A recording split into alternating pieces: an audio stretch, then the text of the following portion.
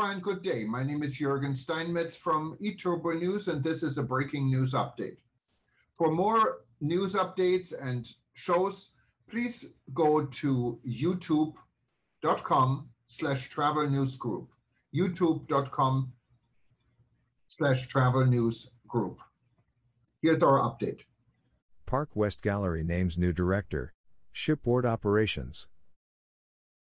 Park West Gallery that offers art auctions on cruise ships and at luxury hotels and resorts announced that Mandy Romine has been recently promoted to director, shipboard operations. In her new role, Romine will manage Park West's partnerships within the cruise line industry and oversee operations, compliance, and more. Park West is the world's largest dealer of art and has been growing and expanding even with the challenges of 2020. In 2021, we are excited to grow the cruise segment of our business as our cruise line partners return to service, Romine said. Romine joined Park West Gallery this year as marketing and production manager for the company's new online telecast program, which is a massive success. Previously, Romine worked 18 years in the cruise industry where she managed marketing and revenue operations for spa, gym, art auctions, port shopping, photo comma and wedding programs.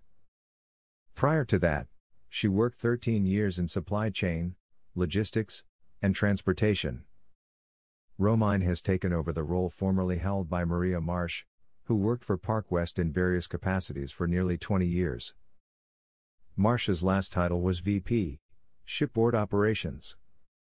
Speaking about her new role, Romine said, Park West has an ability to adapt and innovate to the ever changing needs of their clients, partners, and team members. This is what has made the company successful since Albert Scaglione founded Park West in 1969, and is what will continue to drive the business into future.